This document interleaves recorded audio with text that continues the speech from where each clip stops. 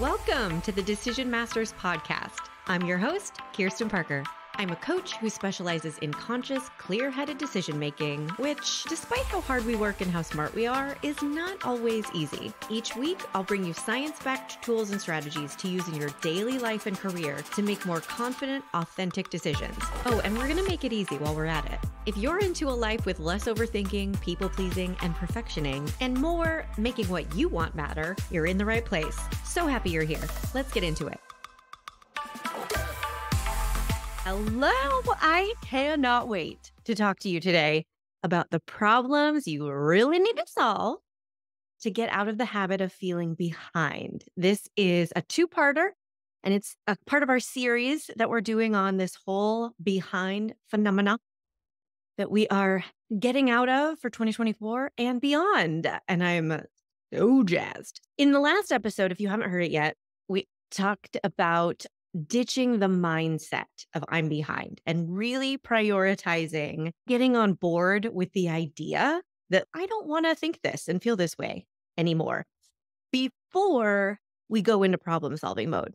Typically, what we do to respond to feeling behind is feel terrible and then try to catch up. And if I just ask people to look at the evidence, if you haven't had success with that, if that hasn't worked to get you caught up, and get you staying caught up, then let's try something different. So, today we're going to start talking about the problems we really need to solve. If what we need to really solve is not just catching up this one time on this one thing, because that doesn't solve the problem of living in this cycle, what are the problems we do need to solve? And I just want to hit you with a quick semantic thought before we get into the details. You know me, you know I love semantic. And if you are struggling with this idea of letting go of this I'm behind language. I get it. It's very, very easy to feel like it's factual. I'm behind. And here's what I suggest here's how uh, you can make changing all of these habits easier. Just start being more specific. Okay, you're not behind where you should be because where you should be is not an objective fact. It's stuff made up that we're going to talk about today.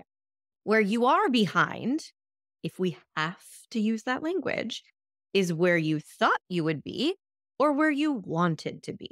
All right. So as you move forward and you're digesting these podcast episodes and you're getting on board with this idea, like, I don't want to live my entire rest of my life feeling behind, but it's an ingrained habit. So it's hard to just switch off like a light switch. Start using this different language. Just make this tiny, subtle shift. Stop saying, I'm behind, and start being more specific. I'm behind where I thought I would be. I'm behind where I wanted to be. I don't want you to feel behind for the rest of forever. And that's what we're going to talk about the specific problems to solve. But even just making this soup, this super subtle shift can help neutralize the idea of where you are. Makes a big difference. Okay, so let's talk solutions. When we say we're behind, and we mean I'm behind where I thought I would be or wanted to be, what's really happening is we're not getting the things done in the way we want them to get done in the time we want them to get done, right? And a lot of factors can be at play here. So I want to help you simplify things so that this feels like a solvable, manageable problem. And the simplest way to think about it is if I want to create different results, then I either have to change what I'm thinking, change what I'm doing, or both. And that is how we're going to break it down. This episode today is about the thinking. Let's look at how you're thinking about your productivity, your schedule, your time, and see if there's anything we need to change in order to create different results.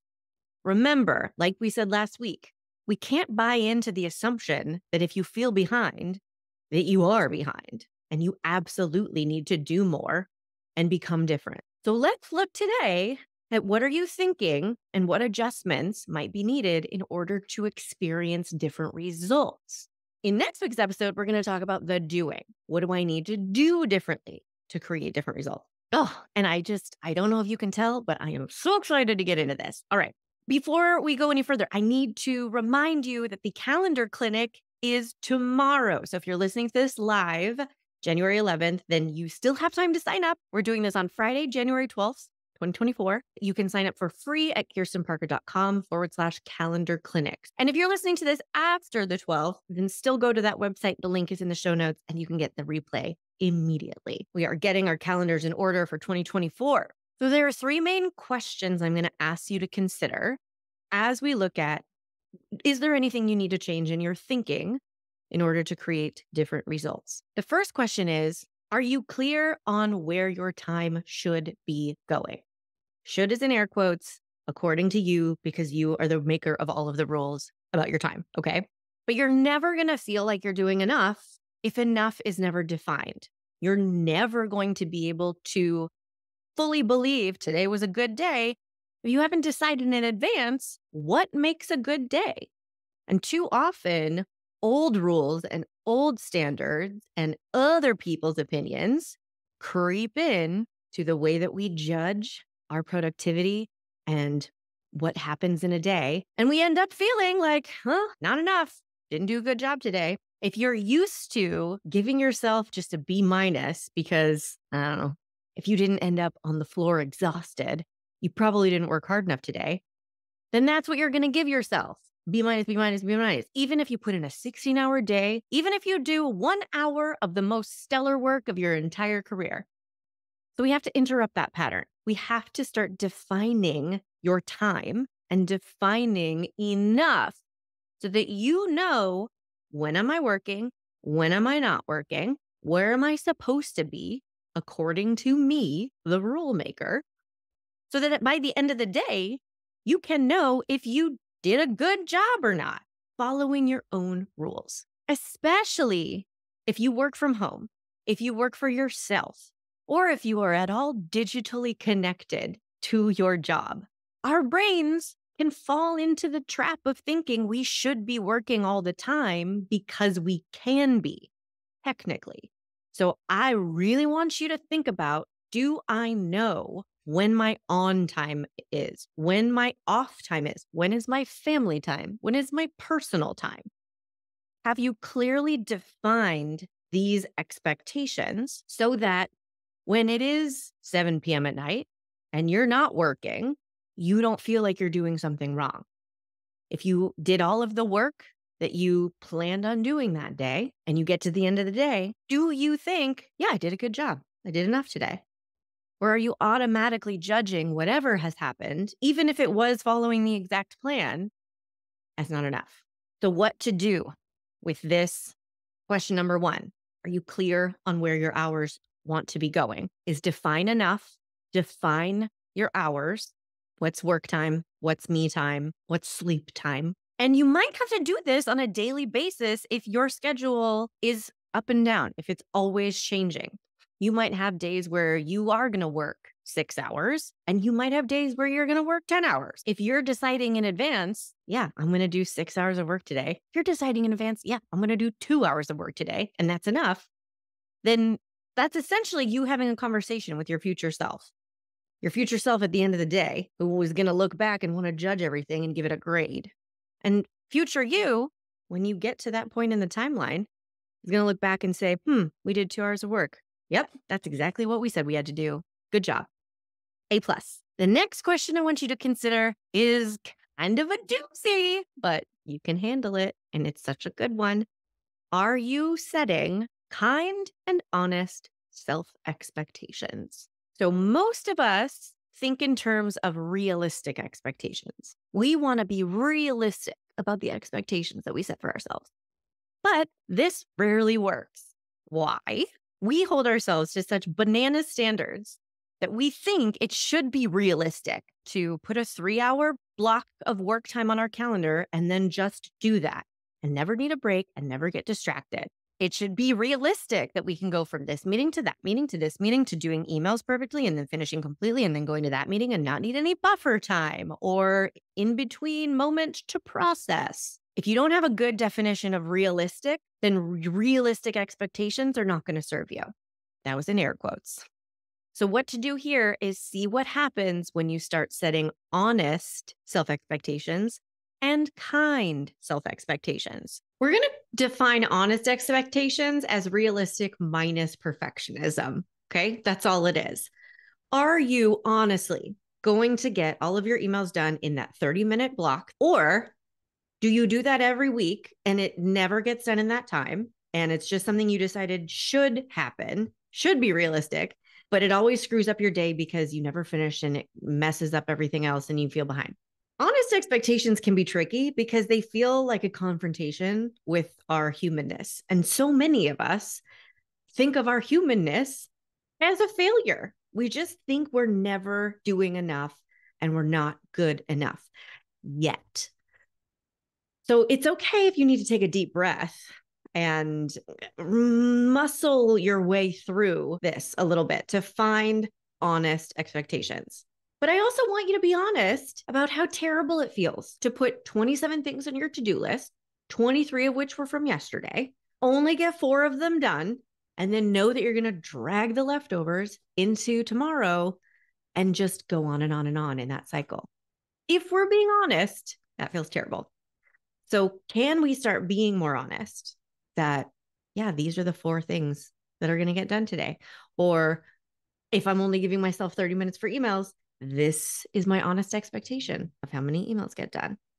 Or honestly, I'm going to need an hour and a half for emails. If it feels icky at the beginning, I promise you're not alone, but I cannot tell you how many clients I have worked with on this very habit who end up telling me weeks and months later how nice it is to effortlessly put together their to do list for the day. They know that it's doable and they're not disappointed with themselves for not doing more because they are in full acceptance of like what's going to happen today, honestly.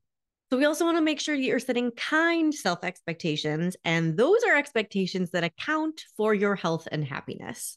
We all know we can go seven hours working without taking a break or consuming food because we've done it. It works ish. It's not kind. We all know that we can promise that thing tomorrow because we'll just work through lunch or we'll stay up later or we'll move that thing that we were going to give ourselves. It works ish, but it's not kind. When you're constantly squeezing more and more in, when you're never asking for help, when you're never tempering your promises, when you're always expecting 110% from yourself, there's no room for error. There's no room for surprises. There's never room to catch your breath. You're setting yourself up to feel behind. So, what to do here is just take a look at your schedule and ask is it honest and is it kind? The third and final question we are going to investigate is who else is in your head?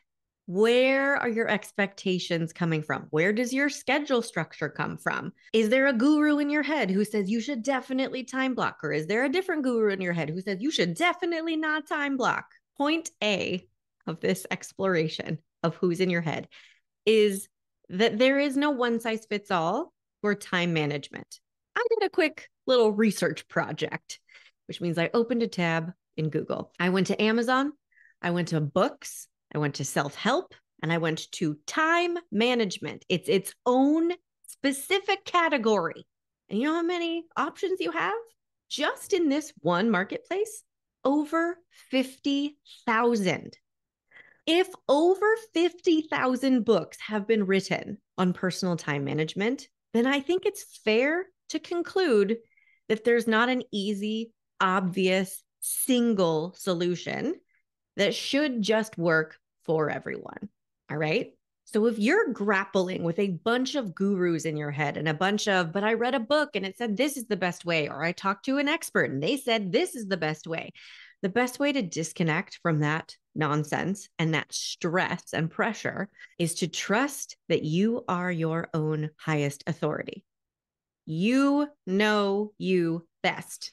There's nothing wrong with experimenting with best practices, but I see a lot of people struggling to try to make systems and methods work because someone else said they should work and they just don't work for them. So here's my advice on this First, I want you to ask honestly what works? What works well about how you schedule things and how your calendar runs right now? Where don't you feel behind and why? We want to make sure that we note what is working well so that you don't throw it out with the baby and the bathwater thing. We don't want to change what's working for no good reason. So pay attention to what does work that I don't need to change. And this is going to help you get specific with the next question, which is what isn't working? If you're specific about why don't I feel on top of things? Why do I end up feeling behind? What happens specifically to create that result? Then you can give yourself specific solutions to experiment with. And I promise you'll have more success if you treat it like an experiment, not like a way you need to be instantly overnight, forever, and perfectly. Okay. Give yourself at least two, hopefully three or four weeks to experiment with whatever solution you're going to try because it's going to feel weird at the beginning. So the first week might just be like a mushy wash of I don't know what I'm doing and what feels good and what isn't working and what. It's fine. Leave room for squishiness in your experiment. Give yourself a long enough time to collect a useful data set. And then if something doesn't work well, if you just can't get the time blocking down or the bullet journaling or the thing that you're trying isn't working for you, maybe we just don't make it a you problem.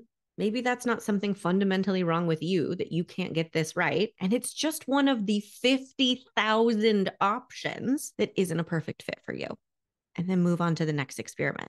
When we're looking for who is in your head, we also want to scan for where your expectations coming from, who is deciding what's doable in a day, where are you getting these ideas that you're not doing enough? Do you have your boss in your head? Do you have your mom in your head? Do you have your frenemy on Instagram who you secretly follow just so you can compare yourself to them? Do you have the vision of yourself 15 years ago in your head telling you you should be doing a lot more? This is important to pay attention to, especially if we're adopting this mindset that I am my own highest authority. I talk to so many people who are struggling with a workload that was bestowed upon them by somebody else. Somebody else decided you should be able to do this much work in this much time because this is the time that we're paying you for. And they just accept that. And when they can't do it, they make it a them problem. I want to tell you a story about my friend who works at a big um, international media company, and she runs a department of 25 people, and she is very good at her job. She came in recently, I think a year, maybe a year and a half ago, and she has delivered consistent growth of 8 to 10% every quarter, which is phenomenal. You don't need to know the specifics. You just need to know that's a big deal. Okay. When her higher up sat her down and gave her her quota for Q1 of this year, guess what it was? 25% growth, more than double what she had been doing for the past year. Now, she could have responded to this in a lot of different ways. She could have gone into panic mode and started thinking, how am I going to do this? I don't have enough hours in the day. I'm going to have to work more than twice as hard. She could have freaked out and worried about instantly failing because how is she going to do this impossible amount of work?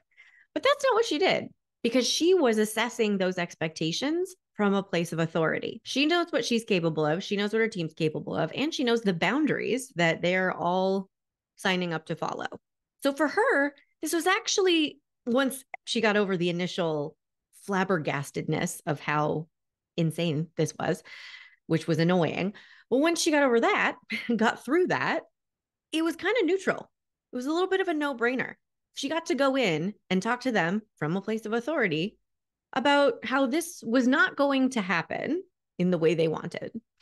They were not going to produce over double the results in the same amount of time with the same amount of people and the same pace of work.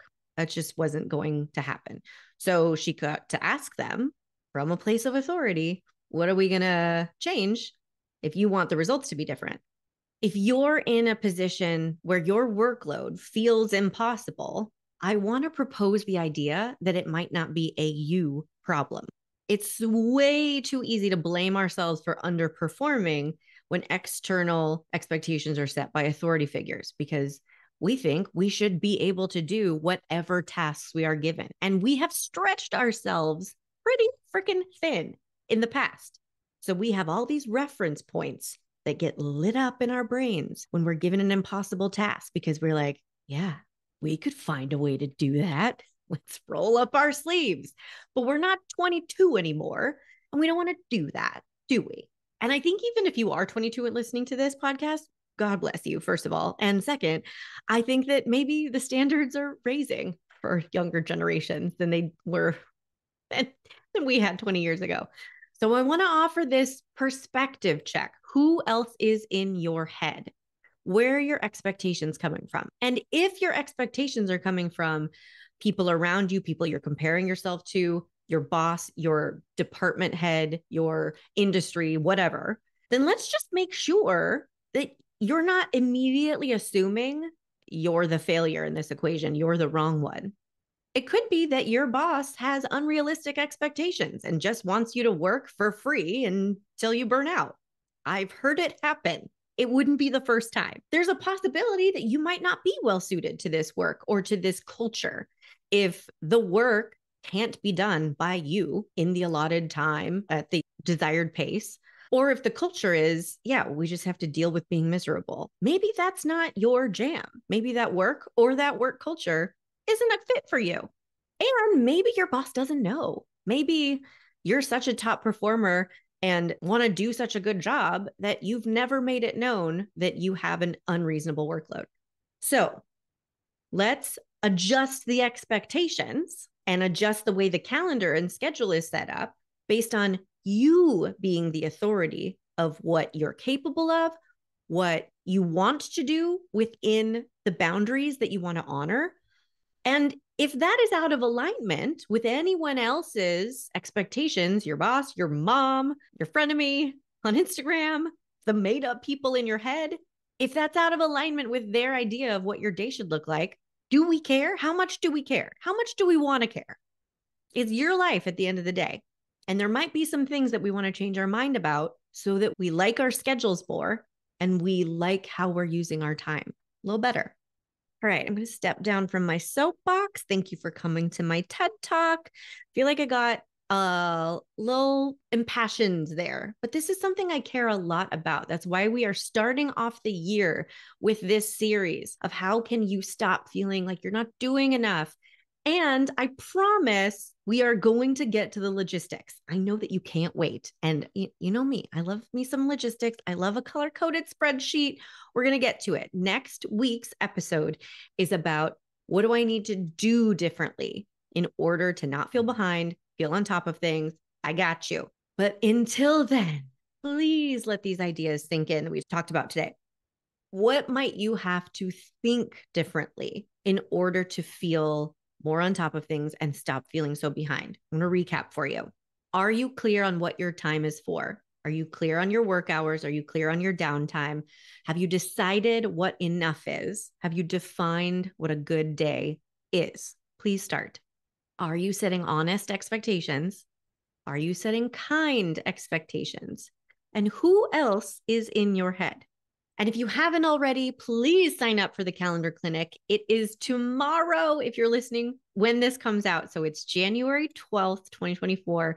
And if you missed it, I'm so sorry, but you can get the replay and it's still going to be super dupes valuable. Go to kirstenparker.com forward slash calendar invite. The link is in the show notes. And of course, if you want long term help with calendar management and getting your mindset in a place of authority and ease and clarity, you can still get into the Decision Masters program. It starts January 23rd. Book your consult at kirstenparker.com forward slash schedule. We'll talk all about how the program can work for you and if it's the right next step. Thanks for tuning in, and I'll see you next week.